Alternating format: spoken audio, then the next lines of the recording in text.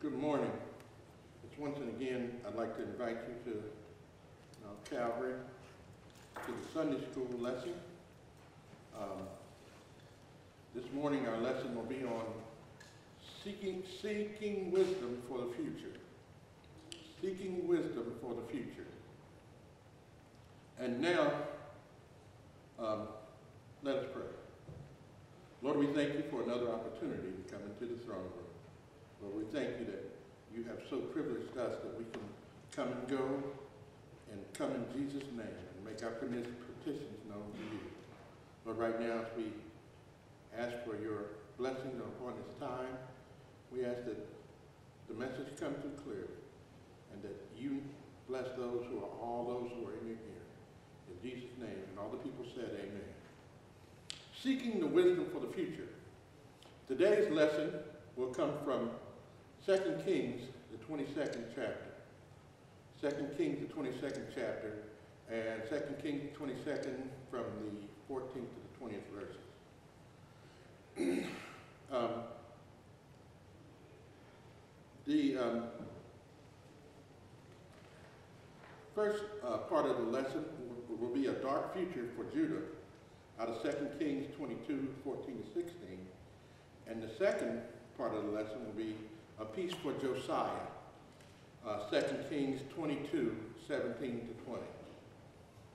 Because thine heart, the key verse says, was tender, and that thou hast humbled thyself before the Lord, when thou heardest what I spake against this place, and against the inhabitants thereof, that they may they should become a desolate and a curse, and hast rent thy clothes, and wept before me. And I have heard thee, saith the Lord. Upon the uh, assassination of Amon, his son Josiah became king of Judah at the age of eight. At the age of eight, he became a king. So now that he had become a king at the age of eight, he reigned for 31 years before, um, from 640 AD to 609 BCE. Um, and uh, while Judah was still occupied by Assyria, the Syrians' control was weak enough um, for Judah as a vassal territory to take cautious steps toward their freedom. When he was only 16, he initiated a, a theological revival for Judah. And he attempted to turn the people away from idol worshiping uh, and to turn them toward God meant that he had to uh, turn away from uh, the imposed dependence on Assyria and their um, pagan worship, including false priests and the offer of Bethel. He also, um, he and, and, the people made a, co a new covenant with Yahweh, that they would take his book to be the, the land of the law, the law of the land, excuse me. Today's lesson um, we talk about the uh, temple repairs, and while they were doing the um, temple repairs, they came across this book of the law. And upon finding this sacred text, they sought someone who might shed light on what or how the book of law was redefined the religious life of Judah. Just think about it. There is power in the Word of God. Even after um, it had been discarded and forgotten a high priest comes and discovers this particular book of the law, and it sets off a chain of events that results in the beginning of a new reform. But you got to understand, these reforms did not come without strife. A dark future for Judah and a peace for Josiah. A dark future for Judah. 2 Kings 14 to 16. So Hilkiah, the priest, and Amkiah, Sobah, and Sapphira, and Ashai went to Huldah, the prophetess, the wife of Shalal, the son of uh, and the son of Harhas, keeper of the wardrobe. Now she dwelt in Jerusalem in college, and it and they consumed they cons they, cons- they consume with her. They commune with her, excuse me. And she said unto them, Thus saith the Lord God of Israel, Tell the man what you sent me. Thus saith the Lord, Behold, I will bring evil upon this place and upon the inhabitants thereof, even all the works, words of the book of which the king of Judah hath read. During the temple uh, repair, um, Josiah, the king of Judah, found this book of the law. It had been long uh, discarded by a, an adulterous nation, but it was found by Hilkiah the priest. Hilkiah was the high priest during, Judah's, during jo Josiah's reign, and he was responsible for nurturing him in the way of the Lord. His tutelage was the kind of thing that a young kid who was trying to be a king, a young king, that's something that he really needed. So after reading the book, Josiah um, feared that the Lord's wrath, and he knew that Judah was in great danger. So he wisely took, sent a delegation to Huldah, the prophetess, to speak with her and require what the Lord should do concerning Judah's fate. Now Josiah, men approached Huldah, God's representative. Though prophets were, prophets were usually men, this was a female prophetess in this time. And Huldah was married to the official uh, who was the keeper of the robes, which meant they were responsible for royal robes and priestly vestments. Um, being both a prophetess and having connections with the court may indicated the delegation was there to see her, um, was sent to see her as a resident of the second quarter of Jerusalem, which means that the area was enclosed by a broad wall. And when, even when Hezekiah was there, that's one of the things that he learned is that he would not have a problem with um, the city in that time because God gave him more time. And one of the things that the prophet has told Josiah that he would never have to worry about the things that were in the book because they wouldn't happen as long as he was the king of Judah. And um, Josiah was not responsible for any of this destruction, would not be responsible for any of the coming destruction. Nevertheless, she told him that God's judgment was going to come. And that at one time or another, it was going to come, but it just wouldn't come whenever Josiah was the king. That's a dark future for, Ju for Judah, but it also is a peace for Josiah. In the 2 Kings, the 22nd chapter, 17th to 20th verse, because thou hast forsaken me and have burned incense to the other God, that thou might provoke me to anger with all the works in thy hand, therefore my wrath shall be kindled against this place, and shall not be quenched. But unto the king of Judah, of Judah I have sent you to inquire of the Lord. Thus say unto him, Thus say unto the Lord God of Israel, as touching these words, thou which thou hast heard, because thy heart was tender, and thou hast humbled thyself before the Lord. When thou heardest and spake against this place, and against the inhabitants thereof, they shall not become desolate and accursed, and hast rent thy clothes and wept before me. I also have heard thee, saith the Lord. Wherefore, behold, therefore, I will gather thee unto thy fathers, and thou shalt gather unto the grave in peace, and thine eyes shall not see the evil which I will bring upon this place. And they brought the king word again. So, now, the second part of this message was directed to Josiah. And, and it was much more positive in nature. The prophetess returned to Josiah and, and, and told him that just reassured him that because your heart is tender, because you've humbled yourself before the Lord, you'll not see all the calamity that was going to happen in this particular time. It was, uh, all the calamity occurred years after his death. And like Hezekiah, when he turned his face to the wall, and, and he had 17 more years of his life, he was also um, spared the calamity of his time. Josiah realized how wicked the nation of uh, Judah was. And uh, since he did, what he did, he went out and did a public reading of the word to uh, his whole, to start a, a spiritual revival for his whole nation. But he did more. He went out and he destroyed uh, the shrines that the heathen had built.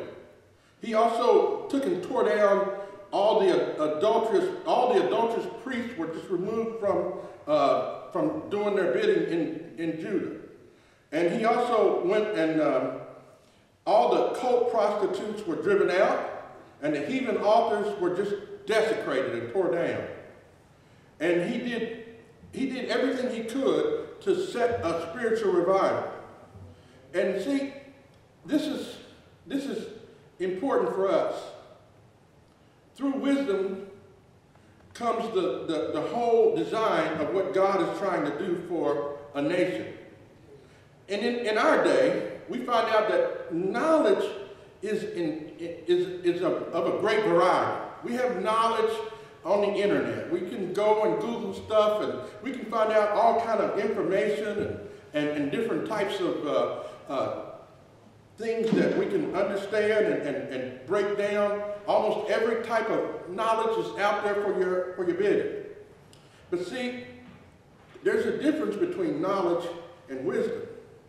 Just because the information, all of the information out there in, on the internet or out there in, in, in the digital divide, it's not necessarily good for you to consume.